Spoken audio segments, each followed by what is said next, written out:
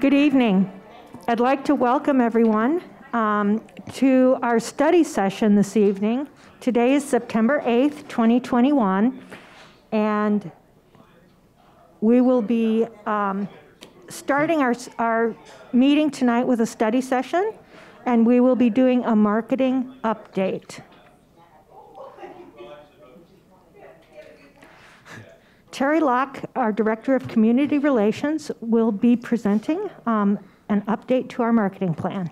Thank you, Madam Locke. President, members of the board. It's our pleasure to present a uh, rundown of our digital marketing campaign that wrapped up right at the first day of school. Uh, We've executed digital marketing campaigns the last four or five years through Cox Communication, but this year we wanted to ramp it up. We wanted to elevate our game in the digital marketing area. So we, uh, we did that, and uh, we partnered with uh, First Strategic Communications, one of our great partners, and their partner uh, off Madison Avenue. And we're going to share some of the results of that tonight with you. But first, I want to introduce you to Sam Incorbaya. She's our first ever digital marketing coordinator. She is homegrown, a 2013 Basha High School grad. She also graduated from ASU and has four years of experience in the digital marketing world. So she's just she's been with us for about a month, hit the ground running. Has been a fabulous addition to our department. So we're going to move through here. Um, first of all, this one here. Yeah. We're going to go through tonight uh, the following things, the campaign items. Uh, I'm going to run through slides 3 through 16. I want you to see the digital, uh, see the uh, imagery, and we're gonna, I'm going to have Sam get into all the analytics later. She'll be kind of the, um, get through all the details uh, from her experience and so forth. And we're going to show you how we're doing in each of these categories, including the results, and then some future recommendations.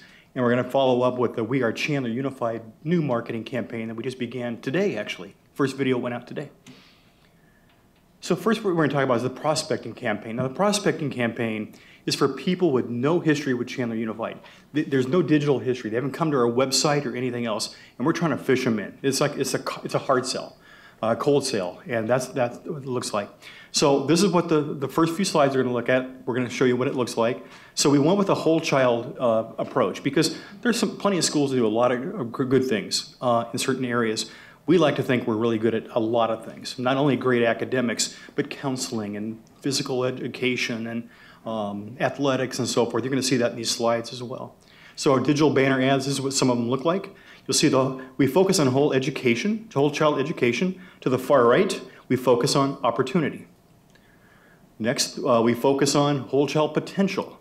Uh, next, we focus on whole uh, child growth. So we'll go back one. I'm sorry. I went back. So basically, over a span of about two months, you're going to see all these different combinations of ads. So something might attract you um, to one of them that didn't the other one. So we, for two months, we went through, and we're going to share the data in a few minutes with you. Um, we, we bombarded our community with this kind of messaging. Our Facebook ads look a little bit like this. Uh, we focus on whole child education because there's no single way to grow, no single way to learn. And that's, that's really our approach in Chandler Unified. We have a, a school of choice for pretty much any learning um, behavior. Um, and then again, the prospecting, education, opportunity, potential, growth. So those are just rotating around and uh, online. And we're going to share the results in a few minutes. Instagram ads. Uh, Instagram is our youngest audience. We have a lot of kids on Instagram, and some of our youngest parents are as well. And again, you see the, the language, the education opportunity, potential, and growth included here as well. Uh, prospecting on Facebook and Instagram video ads. Let's go ahead and show you one of the videos.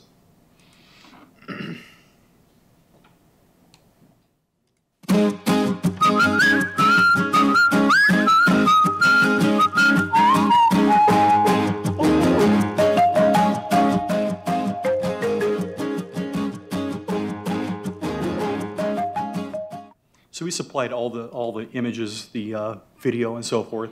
Mike Holland and his team plugged into this, but there's a number of videos I wanted to show you, give you a look at one of those. Uh, Gmail ads, if you, anybody has Gmail ads, Gmail? Well, you get ads on Gmail, don't you? And so this is what you look at here again, the whole child education, we're consistent, and the potential, uh, and then uh, creating engaged learners, smart and well-rounded. That's what we want our Chandler Unified people to be, smart and well-rounded. Not, not a single focus where you're at a school to do one thing in particular the school is good at. We like to think that we're, we're good at a lot of things, have a lot of smart kids. Now, going to All All Points Media, um, we focus on the whole edu- child education. You'll have buttons to click, including go to Whole Child to learn more, enroll today. We love that button, obviously. Uh, we focus on the whole child education. And you're going to see this is a different layout you have depending on where on your screen, where you're surfing around, and where you're going to approach that. Uh, next is the retargeting campaign. It's different than the first one. Retargeting campaign goes after people who have some history with us. They may have attended our schools, but at a minimum, they have a digital history with. They've come to our website, but we haven't captured them. So there's a, there's a slight difference in what the approach. We went with the A plus in all of our approaches on these. So Chandler schools make the grade A plus in STEM, A plus in language immersion. Again, you see the different sizes. There, there are videos and, and static ads as well. Uh, digital banner ads, music and sports are another ones. A plus in music. We're the number one rated district in the valley. A plus in music, A plus in sports. See happy kids, good imagery, and so forth. And some Facebook ads. Uh, again, a retargeting group, bring these people back in. Our A plus rated, our A plus rated school district provides whole child education and wide range of academic choices. Again, A plus rated for arts and STEM, sports and teams, traditional and classic, music and clubs, and so you're going to get this just hitting you for two months solid. Okay, and uh, on Instagram, very similar approach. Again, it's a, uh, a younger audience, and it's uh, you want a little bit less language in those. So it's more about the imagery, the videos, and the, and the photos. Um, that's what that looks like. Single image in a carousel. Uh, Gmail adds images again. Um, we make the grade A plus in STEM, A plus in language immersion, A plus in music, and some other data. The whole idea is to show a picture and a sentence or two on Instagram and get you to take the, take the bite. The executive summary of this, before I turn this over to uh, our superstar Sam here. Um, so we spent $50,000 on this campaign.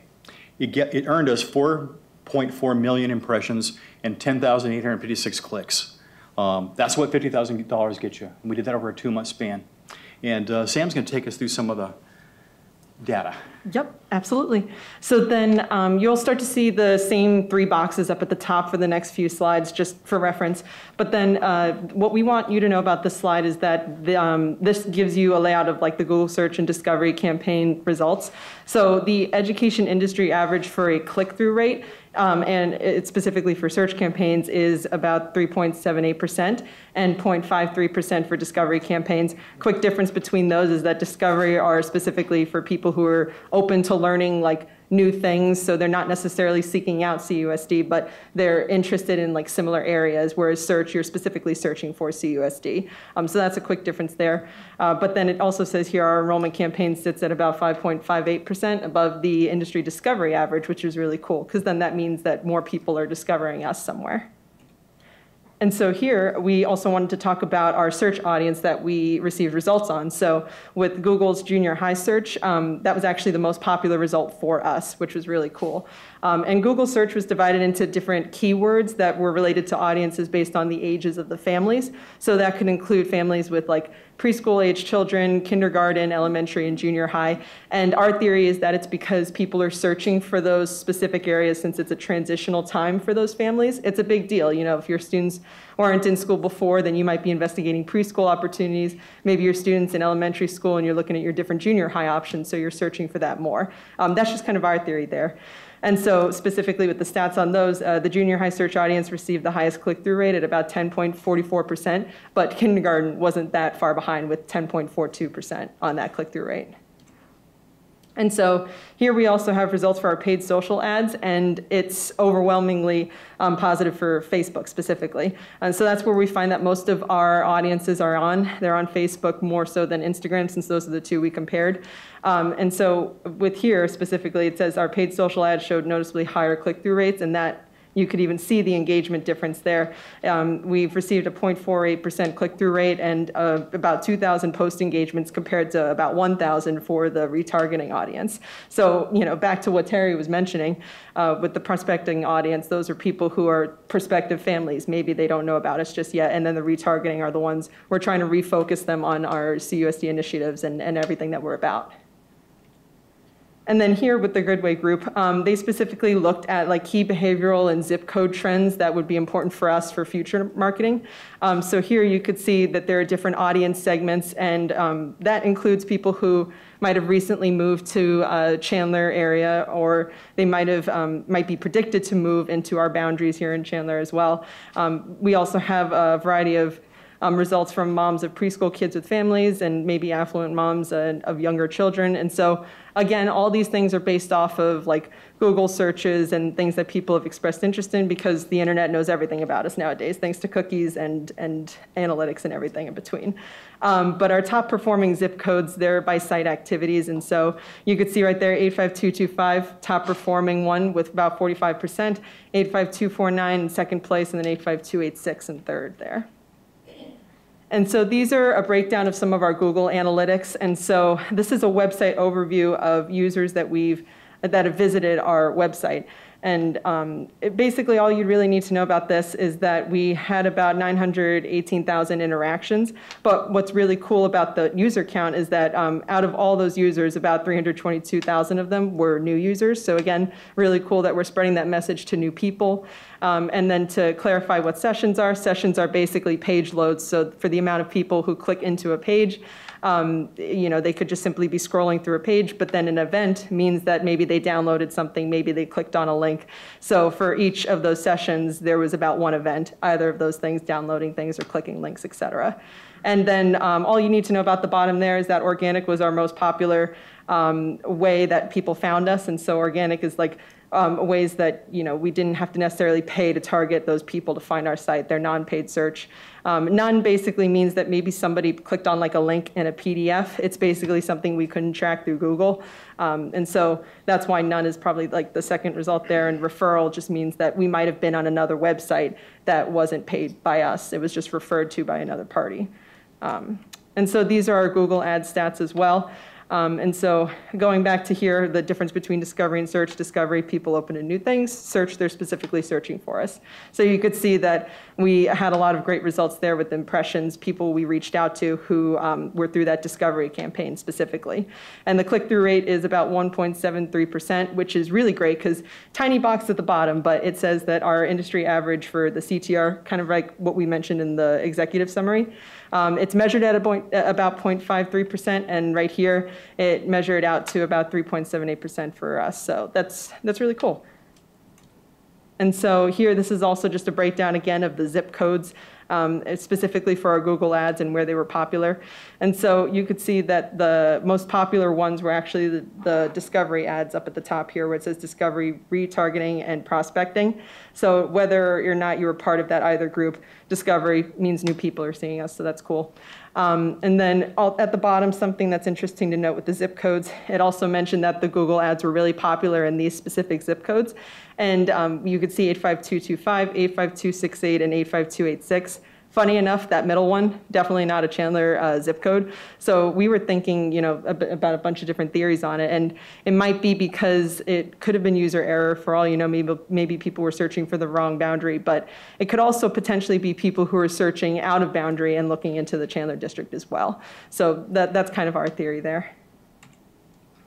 And then here, what we'd want you to take away from this is that um, these are some creative performances with Google Ads, and you could see that um, discovery retargeting through Gmail ads did really well. And same with any kind of responsive search, specifically with kindergarten, had quite a few clicks, quite a few interactions across the board for both of them too. So then these are for the Facebook and Instagram stats. Um, so here, overall, we had about a million different impressions, which is really awesome, and the click-through rate about uh, 0.31%. And so overall, again, only thing you really need to know is that at the bottom here, it shows that Facebook, whether you're retargeting or prospecting, um, it's, it, it does really well. So um, that's why, again, we're solidifying that Facebook, if we want to put dollars and invest into something, Facebook's likely the way to go. And you could absolutely argue, well, fund all your money toward Facebook. Why would we bother with Instagram? But this is still helpful because you could always, um, you know, like figure out a new campaign to maybe draw an audience on Instagram. Because I, have actually personally gone to a few school sites in the last few days to visit with um, people behind the social media accounts there, and a lot of them said that a lot of their young families are really um, active on Instagram too. So there is an audience. It's maybe just a matter of reevaluating what that language looks like in the visuals. And so these are some of our creative performances as well um, with Facebook prospecting and Facebook retargeting. And so again, the only thing you need to really know is that they, um, the prospecting campaign did really well compared to the retargeting. So again, the consistent message, we're hitting new people, that's, that's a good thing. Those are our most successful uh, campaigns, those two that you saw right there. Yeah. And then this is the Goodway Group um, stats as well. So those go back to like the zip code results and those behavioral results um, that they analyzed. And so with our impressions, we had about um, 2,500 on those.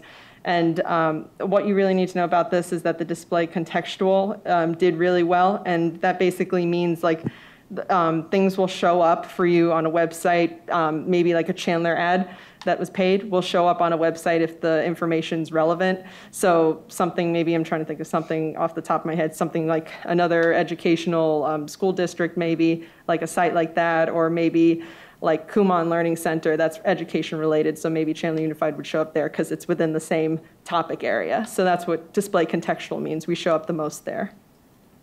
And then here with our creative performance, um, these, they had pretty low click-through rates, but at least their activities were pretty high, so there's potential there to like improve and see what we could do there as well. But those are some of the, the larger banners that we would have advertised um, throughout uh, different searches.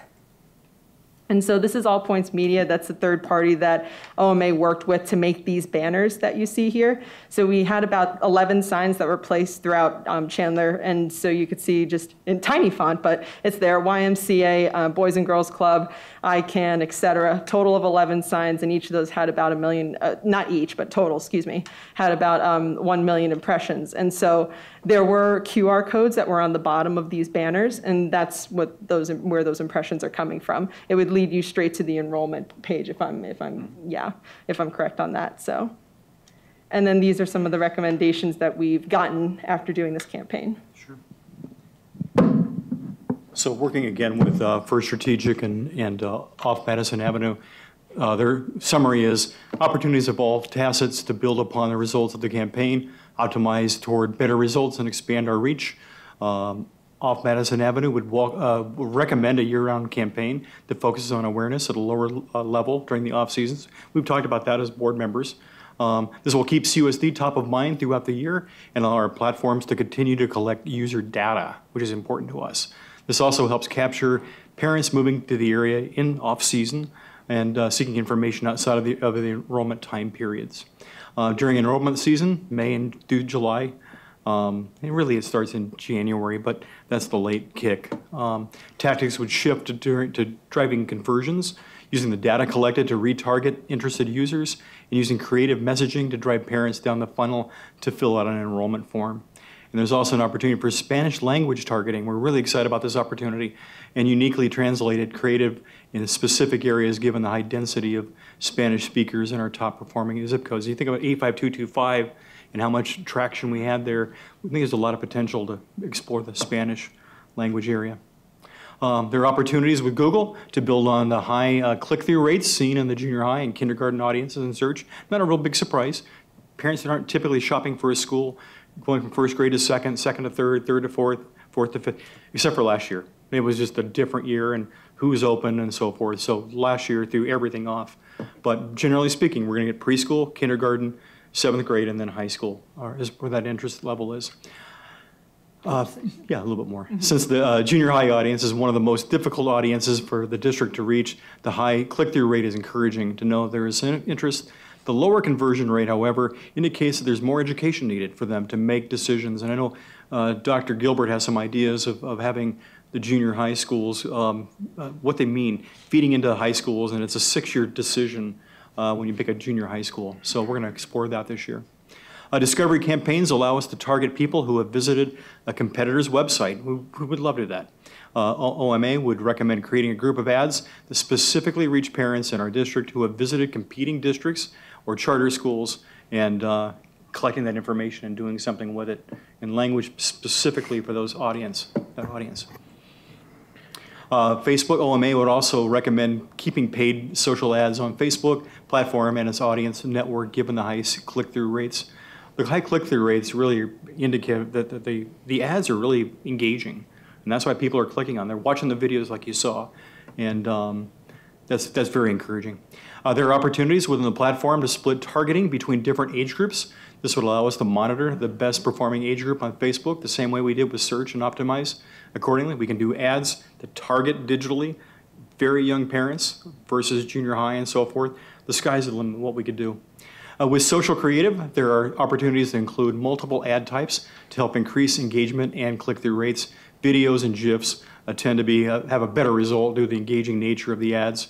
It would be a good addition to the mix of statics and carousels we're running as well. You saw the video; it's, it's very encouraging. It was one of the videos. Uh, Finally, uh, we would recommend expanding partnership opportunities as a year-round campaign to support awareness.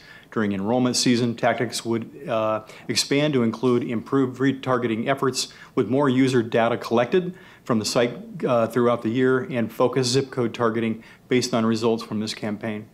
We can get as granular as we want to with this stuff. Uh, We also recommend collecting customer relationship management data, uh, both for current students and for students lost. This will allow our partners to reach a more accurate audience through retargeting and lookalike uh, targeting.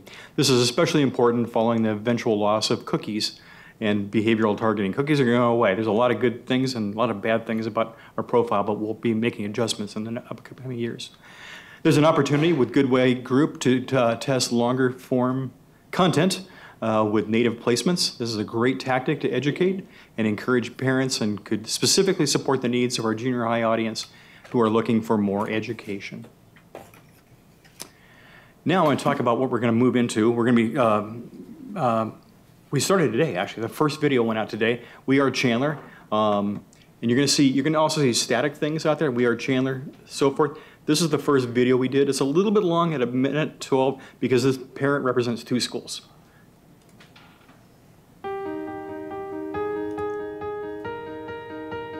I have two children, and they both attended school K through 12 in the Chandler um, Unified School District. My daughter um, attended Hamilton High School, and she flourished there.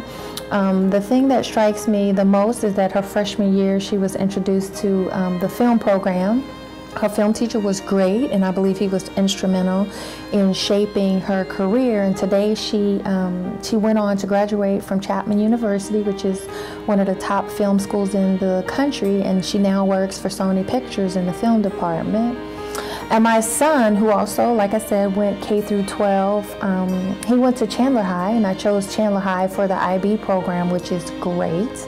He did very, very well there, and he was accepted into his dream school. So he will be attending Northwestern University in the fall. So I'm very proud of where they are right now, and I, I will forever be indebted to the Chandler Unified School District. I am Chandler Unified. So that's the first of a number of videos we're putting out. Uh, Scott Hathaway and his, the rest of the team are working on those as well. Before we turn this over to Lana in two minutes, are there any questions?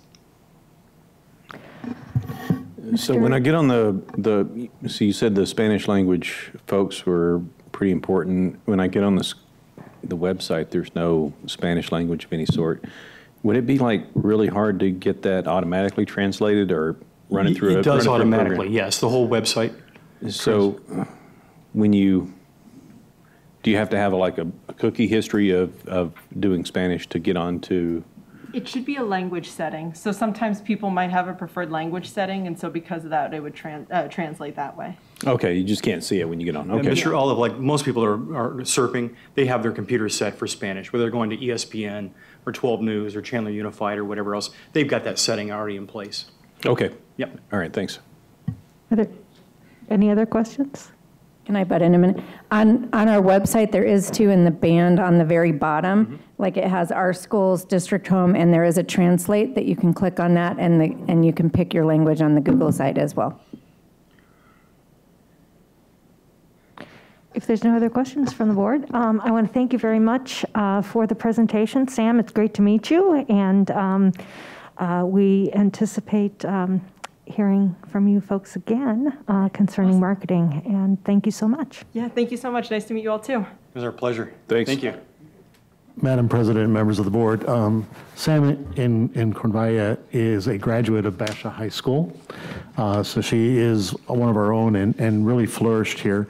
Uh, ASU didn't want to let her go right away, um, and so that was due to our late start of her just starting in August, um, first couple weeks of August, and has done, has been very instrumental with the team and has really, really done a good job of evaluating where we are and moving forward and just hitting the ground running. So I want to thank Mr. Locke and his team, as well as Sam uh, as an augmented piece of our team, and really working with our social media exposures uh, and expanding upon that. I think we're going to see some awesome things uh, directly sent to our families and uh, some great outcomes from that. So thank you very much. Awesome. Thanks, Mr. Narducci.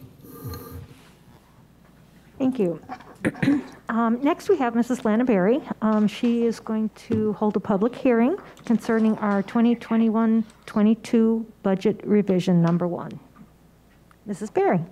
All right. Madam President, members of the board, if you'll give me just a minute, I'm going to log in so I can pull up our uh, PowerPoint.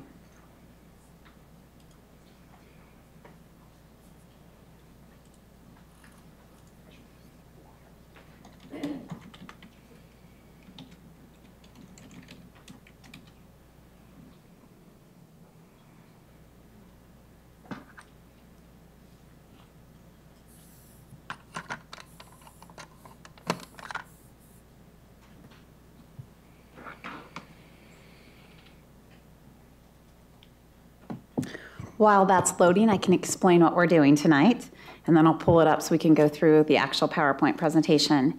But ultimately, you're revising a budget very early this year. Usually, you don't revise the uh, budget, the annual expenditure budget, until December. Um, Once the annual financial report from last year is completed, um, we go through all the completion reports with the state, and we, in October, fill out that annual financial report, and the board approves it. And then we revise our budget because we come together and we put the carryover amounts that are accurate, not just the projections, and we update our um, revised budget. But this year, because the state took a while um, to get out uh, the information, related to the budget and the budget session ended so soon, we ultimately revised, have to revise the budget because of the new budget numbers. And so I'm going to go through that tonight. There is a requirement that we revise the budget by September 15th, so very different than most years.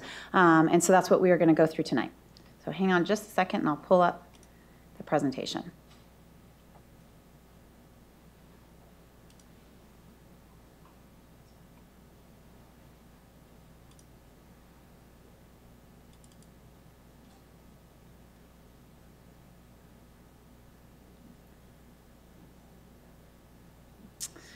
All right, so this will be our first annual budget revision. The next one will come on de- before December 15th. Uh, Usually the first meeting in December is when we'll do this, the next revision. This is for fiscal year 21, 22.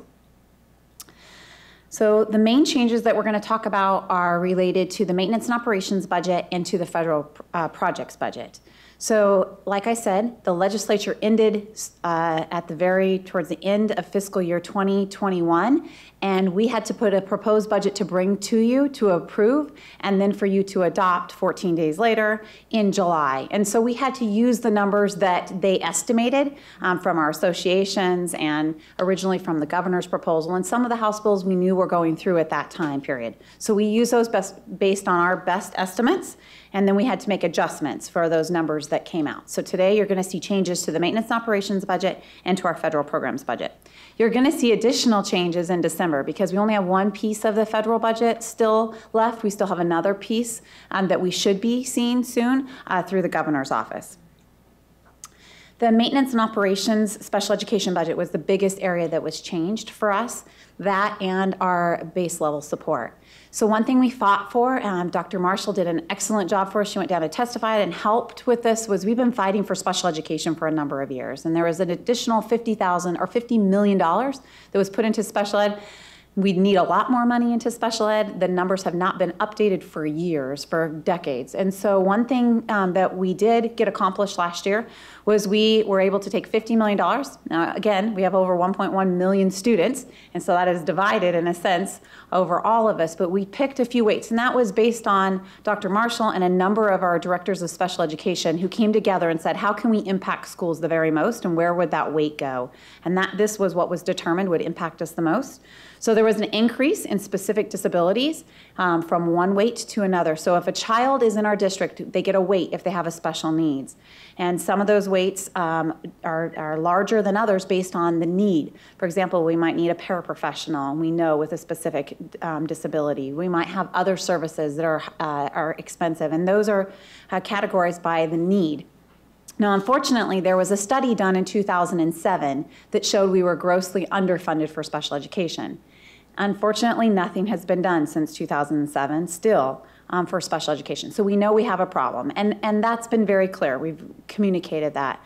Um, they are going to do uh, a survey, or they are going to do a study, and the Arizona Department of Education um, is involved in that. That is going to take a while. I'm not sure if we'll have that done by the next legislative process uh, because they're uh, going to be doing that over a period of time. But at least we got the ball rolling in that we know we need to increase special education and we know there needs to be a new study to justify what do we need to fund special education appropriately. But the weights have changed with the $50 million. And you can see those, they're listed below.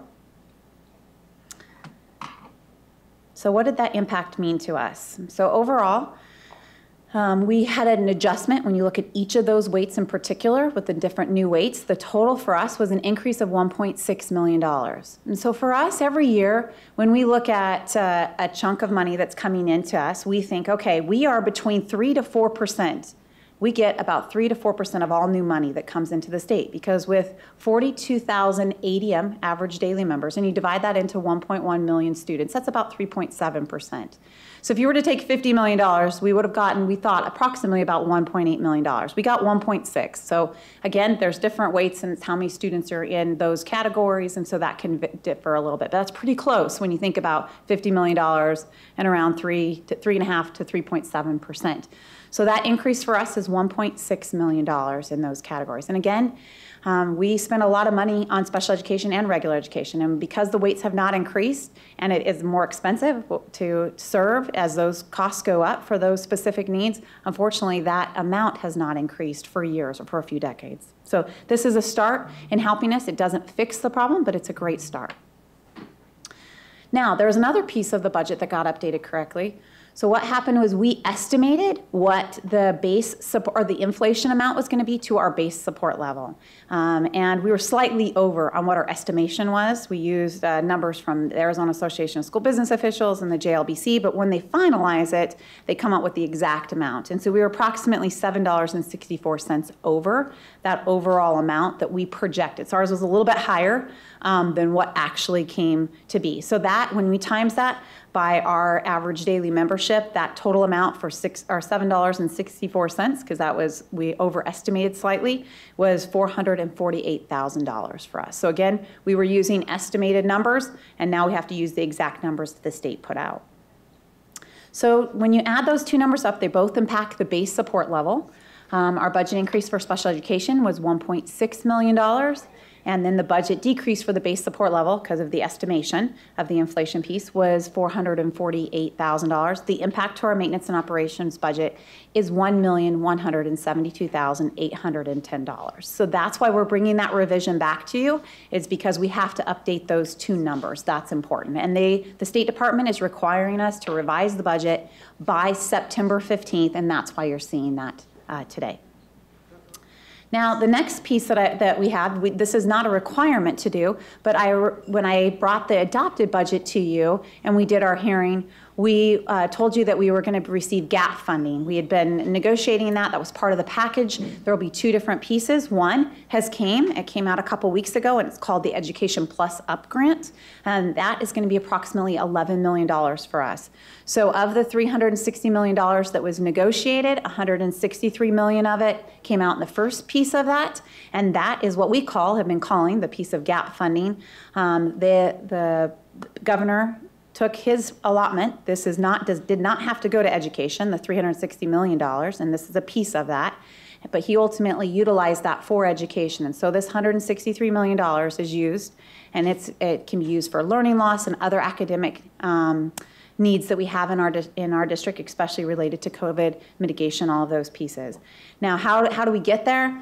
Well, the reason we got there is because a lot of school districts received a lot of dollars here in, uh, in our state. We got $4.4 billion came in.